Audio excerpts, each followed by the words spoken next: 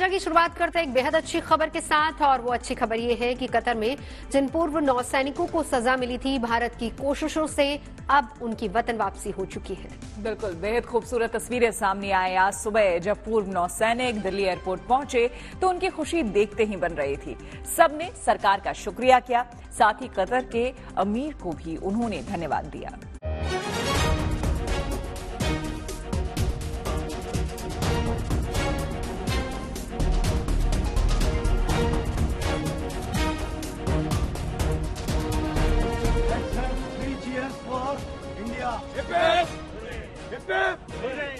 ये खुशी है सुरक्षित अपने वतन लौटने की। भारत माता की। ये सुकून है अपने वतन की सरजमी पर दोबारा कदम रखने की। क्योंकि कल तक जो मिशन नामुमकिन लग रहा था उसे भारत सरकार ने मुमकिन कर दिखाया। कतर ने आठ भारतीय पूर्व नौसैनिकों को रिहा कर दिया और उनकी वतन वापसी मुमकिन हो पाई। It's only possible uh, due to the intervention of our Prime Minister and his personal interaction and involvement uh, with the Amir of Qatar. We're thankful for so much for the government of India. Thank you so much. जिस खबर का इंतज़ार पूरा हिंदुस्तान कर रहा था जिस खबर की प्रतीक्षा में इन तमाम लोगों के परिवार वाले पलकें बिछाए इंतज़ार कर रहे थे वो खबर सुबह सवेरे आई और कतर से आठ पूर्व नौसैनिकों में से सात की वतन वापसी हो गई सभी ने भारत सरकार को शुक्रिया कहा We have waited uh, almost 18 months to be back in India. We're extremely grateful to the Honorable Prime Minister, Sri Narendra Modi ji. It certainly wouldn't have been possible without his uh, personal intervention and that equation with uh, the Emir of Qatar. Uh, I think we are grateful to the Government of India, the bottom of our heart, for the every effort that has been made. And this day wouldn't have been possible without it. Grateful indeed. Thank you so much. Qatar की अदालत ने इन तमाम लोगों को मौत की सजा सुनाई थी। देश के हर नागरिक को धक्का लगा था। लेकिन बाद में भारत के अनुरोध पर सभी की सजा को कम करके पहले उम्र कैद में तब्दील किया गया और उसके बाद सबकी रिहाई हो पाई। सुबह सुबह विदेश मंत्रालय ने इस बारे में पूरी जानकारी दी, जिसमें कतर सरकार को शुक्रिया कहा गया। अपने बयान में विदेश मंत्रालय ने कहा कि भारत सरकार कतर में हिरासत में लिए गए देहरा ग्लोबल कंपनी के लिए काम करने वाले आठ भारतीय नागरिकों की रिहाई का स्वागत करती है। प्रधानमंत्री जी का आभार और अमीर जो है कतर के उनके प्रति भी धन्यवाद। कहाँ कहाँ से बधाइयाँ मिल रही हैं आपको? बधाइयाँ से ज़्यादा खुशी और, और उन परिवारजनों की तरफ़ से और संपूर्ण भारतवर्ष की तरफ़ से एक खुशी जो है वो सबके चेहरे पर यहाँ तक कि आपके चेहरे पर दिखाई दे रही है। भारत में कोई भी अच्छी चीज़ होती है तो हर भारतीय का मन जो है प्रसन्नता से भर जाता है। प्रधानमंत्री जी के हस्तक्षेप के बाद थोड़ी उम्मीद बनी थी और जो हुआ वो तो सबकी बेहतरी के लिए ही है। कतर में मिली कूटनीतिक विजय कई मायनों में खास है। ये जीत इसलिए भी अहम है क्योंकि कुछ महीने पहले तक इन नौसैनिकों को वहाँ की अदालत मौत की सजा सुना चुकी थी। लेकिन बाद में भारत सरकार ने ताकत झोंकी और सब कुछ बदल गया। आशुतोष मिश्रा के साथ bureau report good news today. Qatar से पूर्व नौसैनिकों की वापसी बेहद मुश्किल थी। क्योंकि वहाँ उन्हें मौत की सजा मिली थी। लेकिन भारत की कूटनीति से पहले न सिर्फ़ उनकी सजा उम्र कैद में बदली, बल्कि उन्हें देश वापस लाना भी संभव हो पाया। भारत सरकार ने इन सभी को कतर से लाने के लिए जीतोड़ कोशिश की। डेढ़ साल तक सारे कानूनी रास्ते तलाशने के बाद इनकी रिहाई का रास्ता साफ़ हुआ और ये वतन वापसी कर सके।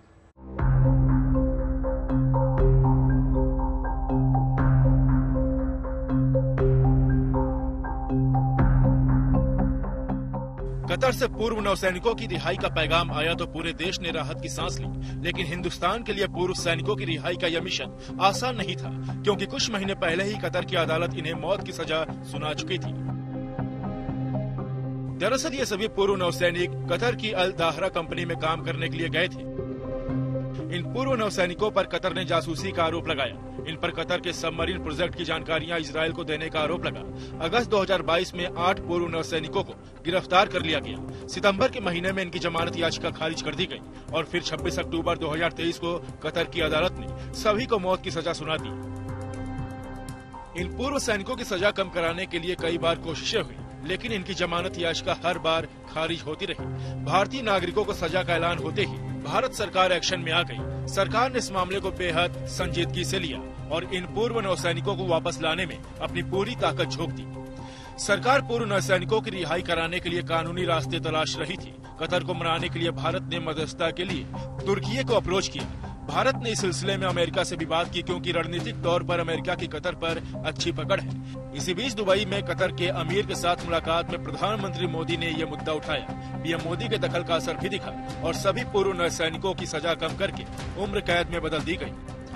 मार्च 2023 में कतर की अदालत में सुनवाई का सिलसिला शुरू हुआ और दिसंबर आने तक मौत की सजा उम्र कैद में तब्दील हो गई। लेकिन सजा कम होने के बाद भी भारत सरकार लगातार इन नौ सैनिकों को रिहा कराने की कोशिशों में जुटी रही। एक तरफ़ सरकार इन सैनिकों के लिए प्रयास कर रही थी तो दूसरी तरफ़ विदेश मंत्री इन पूर्व सैनिकों के परिवार से मिलकर उनका हौसला बढ़ा रहे थे। पूरी प्रक्रिया के दौरान भारत सरकार कतर में कैद भारतीय नागरिकों के लगातार संपर्क में रही और आखिरकार वो दिन आया जिसका सभी को बेसब्री से इंतज़ार था। हिंदुस्तान की कोशिशें रंग लाई और कतर में कैद हिंदुस्तानियों की वतन वापसी का रास्ता साफ़ हो गया। विदेश की जेल से निकलकर जब इन पूर्व सैनिकों के कदम भारत की ज़मीन पर पड़े तो ये पल इनके जीवन का सबसे यादगार लम्हा बन गया। रिपोर्ट गुड न्यूज़ टुडे दूसरे देशों में फंसे भारतीयों को राहत दिलाने के लिए जिस तरह सरकार के स्तर पर प्रयास किए जा रहे हैं, उसको लेकर लोगों में किस तरह का भरोसा जग रहा है, उसका ताज़ा उदाहरण उत्तर प्रदेश के रामपुर से सामने आया। बिल्कुल, यहाँ से 30 साल पहले एक शख्स घर छोड़कर कहीं चला गया था, लेकिन अब उसके पाकिस्तान की जेल में बंद होने का पता उसके परिजनों को चला है, जिसके बाद अब वो भी सरकार से उसे वतन वापस लाने की गुहार लगा रहे हैं।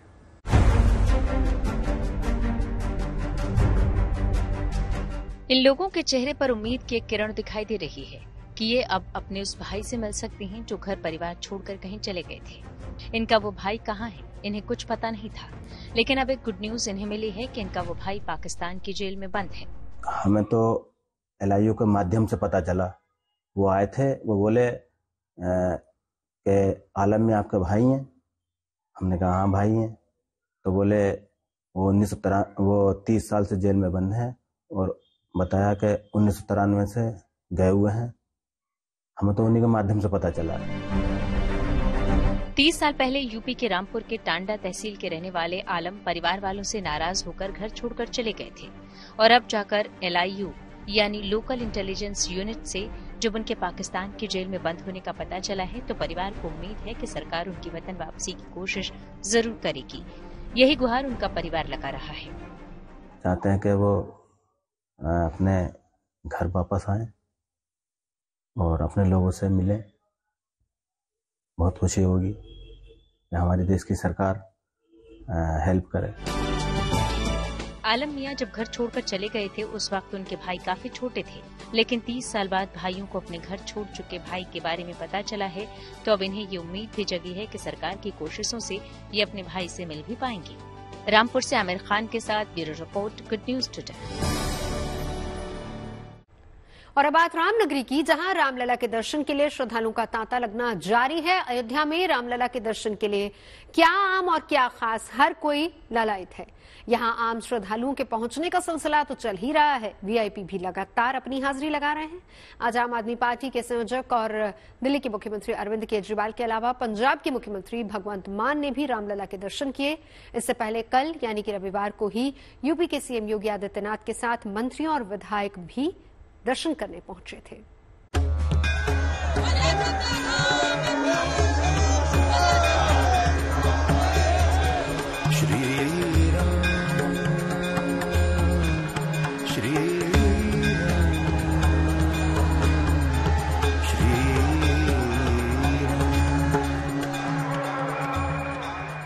भक्त अपार आस्था अपरंपार।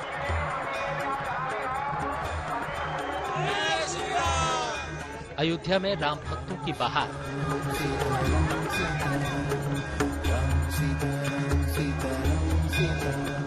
रामलला के दर्शन का सपना लिए देश भर से तमाम भक्त भगवान राम की नगरी अयोध्या पहुँच रहे हैं, ताकि रामलला के दर्शन का सौभाग्य प्राप्त कर वो धन्य हो सके।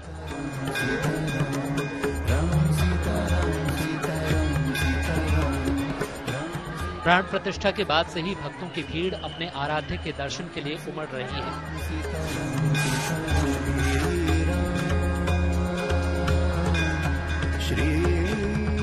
क्या नेता, क्या अभिनेता और क्या जनता? रोज़ाना लाखों लोग राम दरबार में अपना माथा टेकने के लिए आते हैं।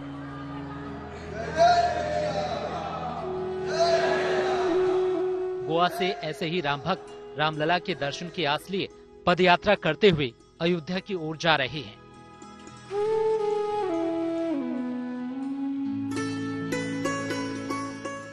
बदन पर भगवा लिबास, ज़ुबान पर जय श्री राम का जय घोष और दिल में रामलला के दर्शन की आस। कुछ इसी अंदाज में गोवा के 50 श्रद्धालुओं का यह जत्था 2100 किलोमीटर की पदयात्रा करते हुए 25 फरवरी को अयोध्या पहुंचेगा। भक्तों का सैकड़ों सालों का सपना साकार हुआ है तो ज़ाहिर है, भक्तों का जोश और जज्बा सातवें आसमान पर है।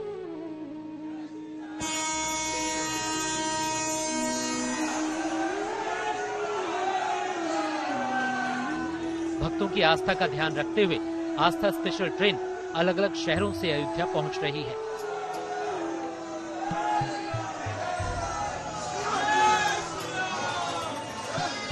मुंबई से भी आस्था स्पेशल ट्रेन रामनगरी के लिए रवाना हुई।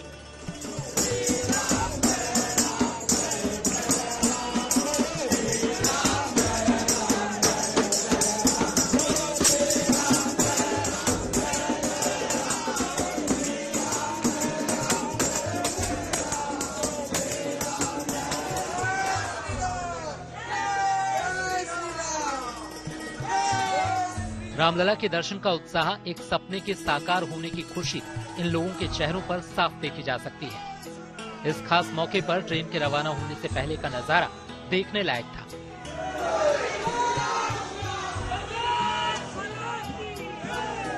वहाँ सबसे पहले राम भक्तों ने इस आस्था स्पेशल ट्रेन के इंजन की पूजा की, उसकी आरती उतारी और फूल चढ़ाए।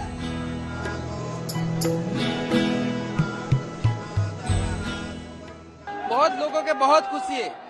लोगों के एकदम अद्भुत खुशी है। राम जी के लिए छुट्टी के हम लोग जॉब छोड़ के भी राम जी के दर्शन के लिए जा सकते हैं।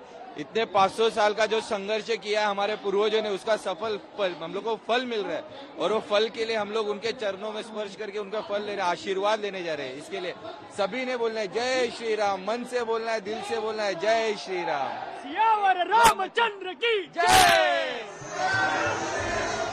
सीएसएमटी स्टेशन पर मौजूद लोगों ने भगवा झंडे दिखाकर आस्था स्पेशल ट्रेन को रवाना किया। इस दौरान ट्रेन के हॉर्न के साथ काफ़ी देर तक स्टेशन पर श्री राम के जयकारे गूंजते रहे।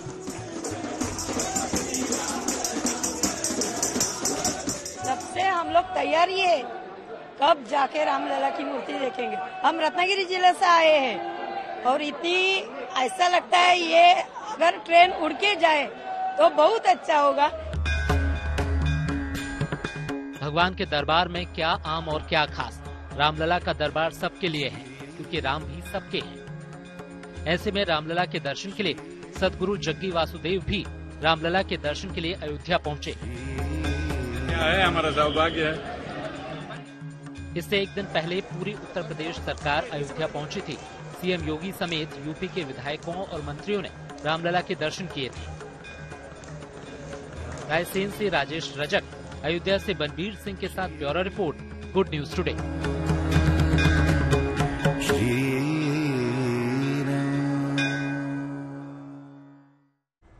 Ayodhya में रामलला के मंदिर की प्राण प्रतिष्ठा हो चुकी है। तो अब देश के इकलौते ओम आकार के शिव मंदिर का भव्य उद्घाटन होने जा रहा है। ये मंदिर राजस्थान के पाली में है। बिल्कुल आपको बता दें कि ओम के आकार का ये मंदिर रात में निराली छटा बिखेरता है। लाइटों से जगमग मंदिर, रात में मानो दूधिया रोशनी से नहा जाता है और भव्य, दिव्य नज़र आता है। आप भी देखिए इस रिपोर्ट में।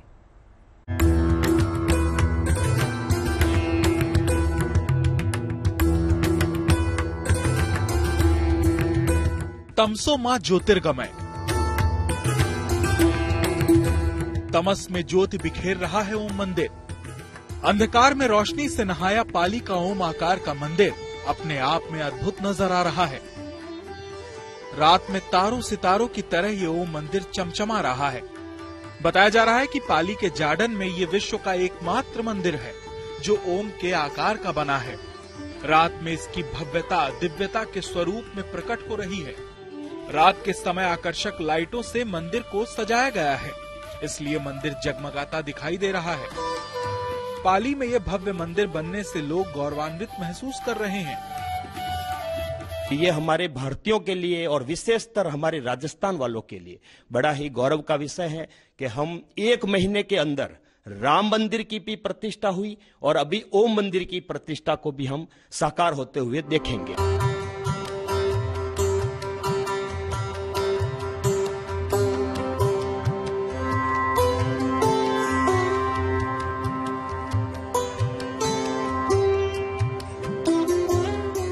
ये मंदिर विश्वदीप, गुरुकुल, स्वामी महेश्वरानंद शिक्षा एवं शोध संस्थान आश्रम में बना है।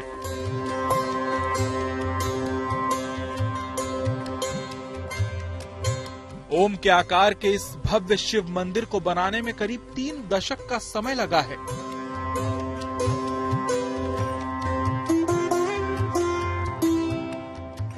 मंदिर की प्राण प्रतिष्ठा कार्यक्रम 19 फरवरी को होगी। जिसमें देश भर के साधु संत आमंत्रित किए गए हैं।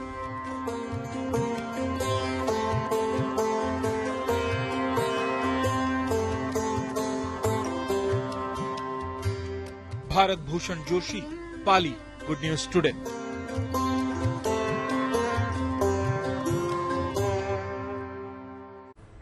प्रधानमंत्री नरेंद्र मोदी मंगलवार को यूएई के दौरे पर जाएँगे। दरअसल वहाँ भव्य मंदिर बनकर तैयार हो गया है। प्रधानमंत्री इसी मंदिर का उद्घाटन करने वहाँ जा रहे हैं। बिल्कुल, अबुधाबी में इस मंदिर के उद्घाटन की तैयारियाँ लगभग पूरी कर ली गई हैं। इस मंदिर की भव्यता देखते ही बनती है।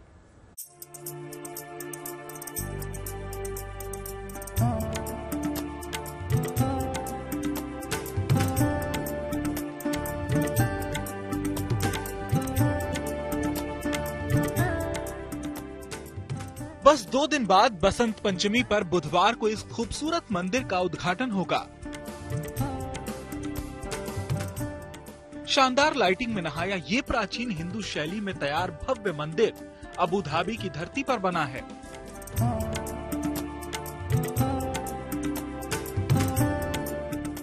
प्रधानमंत्री मोदी इस मंदिर का उद्घाटन करेंगे, जिसके लिए वो मंगलवार को यूएई रवाना होंगे।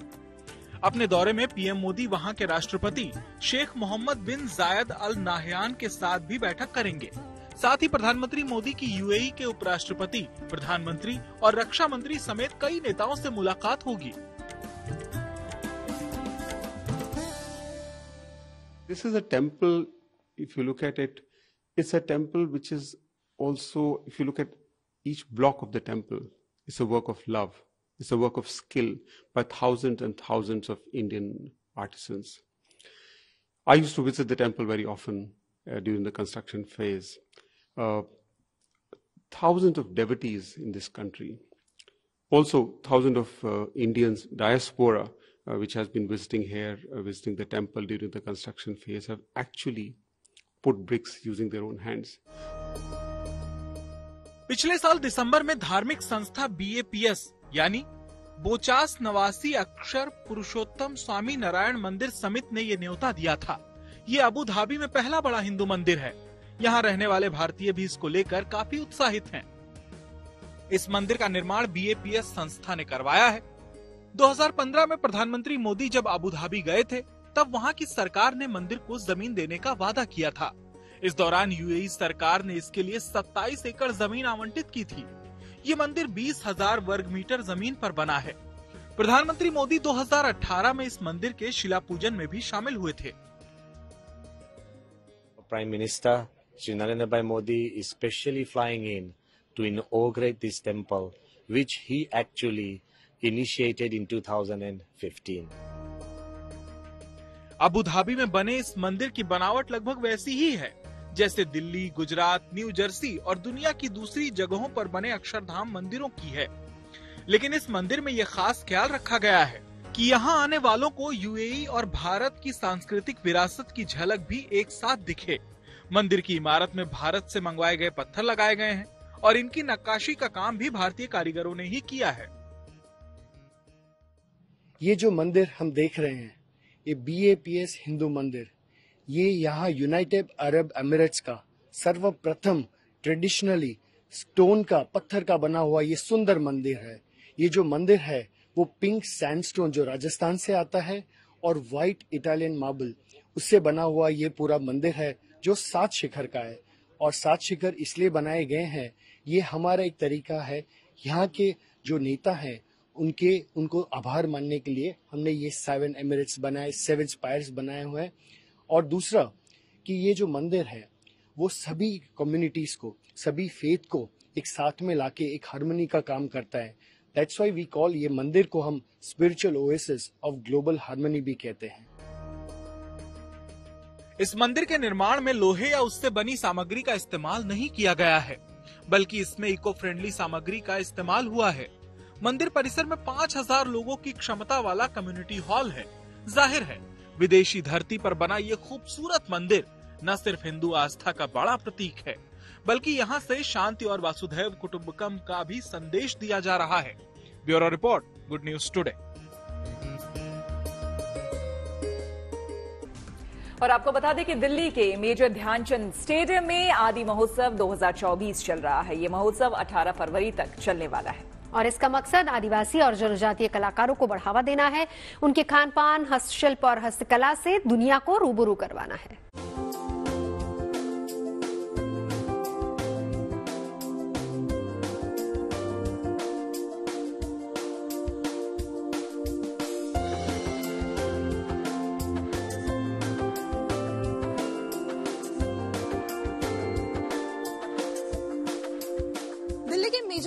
मेजर स्टेडियम में आदि महोत्सव की शुरुआत हो गई है। आदि महोत्सव यानी एक त्योहार जिसमें देश के तमाम जो आदिवासी हैं वो पहुँचे हैं। अपनी कारीगरी लेकर दिखाने दुनिया को कि वो क्या कुछ कर सकते हैं। ये तमाम स्टॉल यहाँ पर लगाए गए हैं। 300 से ज़्यादा स्टॉल हैं। 1000 से ज़्यादा कारीगर जो हैं वो पहुँचे हैं। आप बताइए कहाँ से आए हैं? हिंदी में बोल पाएँगे? हाँ मैम मैं महाराष्ट्र से हूँ। हमारा जो केंद्र शासित प्रदेश सिलवासा है हाँ, मैं ये वार्ले पेंटिंग बनाता हूँ मैं। मेरा नाम विनू कालू भावर है मैं पहले हम ऐसे कैनवास के कपड़े पे बनाते थे अभी हम डायरेक्ट प्रोडक्ट के ऊपर वार्ले पेंटिंग बनाते हैं। ये सब ये मोबाइल स्टैंड है। ये नेपकिन होल्डर है। ये पेन पेन होल्डर है। तो यानी ज़रूरत के हिसाब से आप अपनी आर्ट और क्राफ्ट को भी उन चीज़ों पे बना रहे हैं जिससे लोग ज़्यादा से ज़्यादा यूज़ होने वाला चीज़ बचते हैं। वर्ली पेंटिंग को इन्होंने उन चीज़ों पर उकेर दिया जो घर में अमूमन इस्तेमाल होती है, और यही शायद ये दर्शाने के लिए काफ़ी है कि वाकई में जो ट्राइब्स हैं, उनको ज़रिया तो मिल रहा है कि वो दिल्ली आए, आदि महोत्सव जैसे महोत्सव का हिस्सा बने। क्या लेकर आए हैं दादा? आप कहाँ से आए हैं? मैं उड़ीसा से आया हूँ। हमारा गाँव रघुराजपुर है। हम रघुराजपुर से लेके आओ, हमारा ये ट्रेडिशनल पेंटिंग है, इसको पटचित्र पेंटिंग बोलते हैं। क्योंकि ना ये जो पटचित्र पेंटिंग होता है, ये सब नेचुरल कलर से होता है।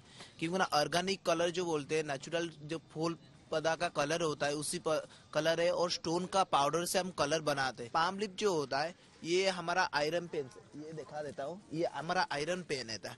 ये पाम का पत्ता होता है पाम का पत्ता के ऊपर हम आयरन पेन से इंग्रेविंग करते हैं।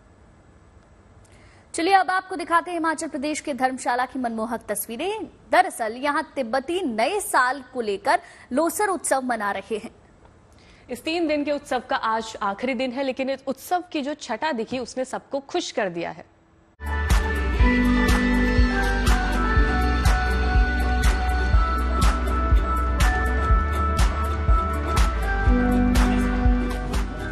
उत्सव की ये तस्वीरें हैं हिमाचल प्रदेश के धर्मशाला की, जहाँ तीन दिवसीय लूसर उत्सव चल रहा है।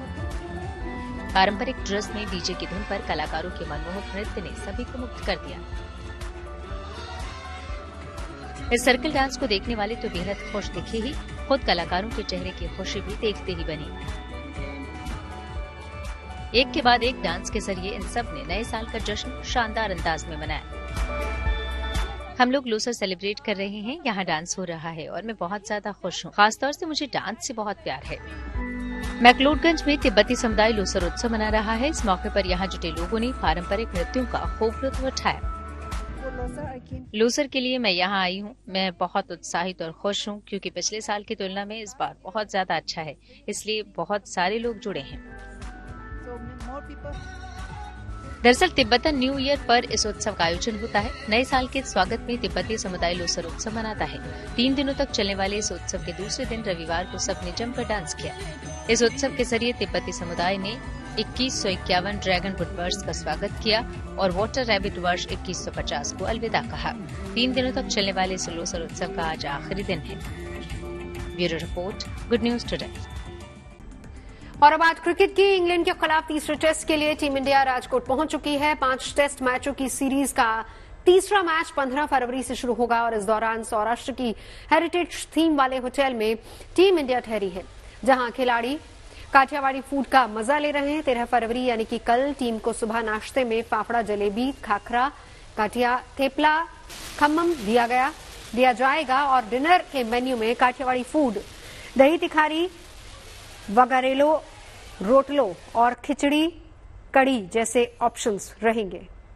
हालाँकि इस दौरान आपको बता दें कि रोहित शर्मा एंड कंपनी के सामने चुनौती भी बड़ी होगी। फ़िलहाल सीरीज़ एक एक की बराबरी पर है। ज़ाहिर है कि ये टेस्ट जीतकर दोनों ही टीमें सीरीज़ में बढ़त लेना चाहेंगी। राजकोट के सौराष्ट्र क्रिकेट स्टेडियम में इससे पहले भारत और इंग्लैंड के बीच 2016 में खेला गया इकलौता मैच था, जो कि ड्रॉ रहा था। कश्मीर बेहद ही सुंदर है, लेकिन वो सिर्फ़ सैर सपाटी के लिए नहीं है, बल्कि कुछ नया करने की चाहत रखने वाले और एडवेंचर स्पोर्ट्स के शौकीनों का भी ये घर है। बिल्कुल, सोनमर्ग में बेसिक स्कीइंग कोर्स करवाया जा रहा है, जिसमें तेलंगाना, आंध्र प्रदेश, कर्नाटक, मध्य जैसे दूर दराज के राज्यों से युवा पहुँचे हैं।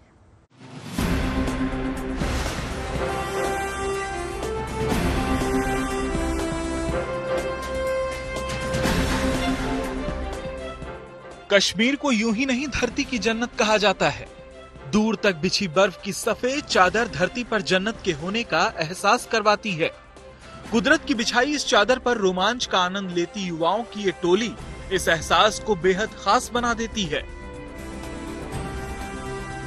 चार Indian Institute of Mountaineering and Skiing जो है, वो काम कर रहे हैं। उनमें से प्रसिद्ध जो इन, ये Institute Jawahar Indian Institute of Mountaineering and Skiing है, वो पहलगाम में है। जम्मू कश्मीर के गांदरबल में Jawahar Institute of Mountaineering and Winter Sports की तरफ़ से इन युवाओं को स्कीइंग की ट्रेनिंग दी जा रही है। ये वो युवा हैं, जो देश के अलग अलग राज्यों से इन हसीन वादियों के बीच पहुँचे हैं। जवाहर इंस्टीट्यूट सर्दियों में स्कीइंग का कोर्स करवाता है, जहाँ चंद दिनों की ट्रेनिंग के बाद ये युवा बर्फ़ से ढके मैदान पर हवा से बातें करते नज़र आते हैं। इसी तरह गर्मियों में युवाओं के लिए संस्थान की तरफ़ से पर्वतारोहण के कोर्स करवाए जाते हैं।